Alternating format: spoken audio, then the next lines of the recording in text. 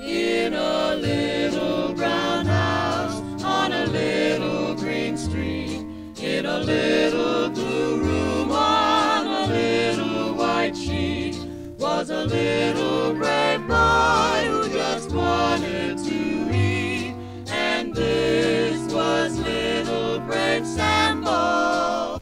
He ran out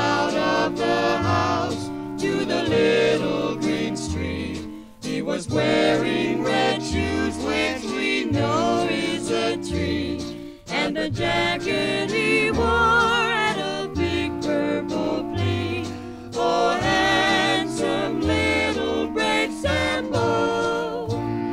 As he went walking through the woods, he met a great big lion who said, That jacket looks so good. I wish that it were mine.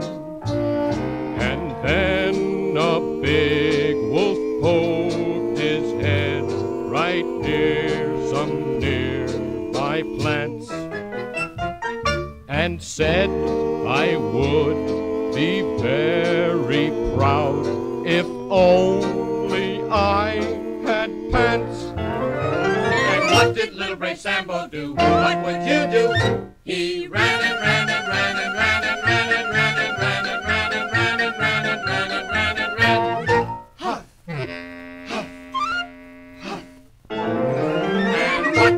Lion and the big wolf do? What would you do? They ran and ran and ran and ran and ran and ran and ran and ran and ran and ran and ran and ran and ran. Huff, huff, huff.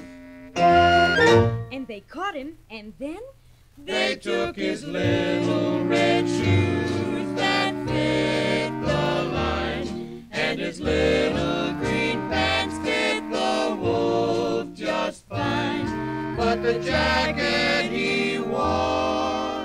I kept for mine. Why, that was me.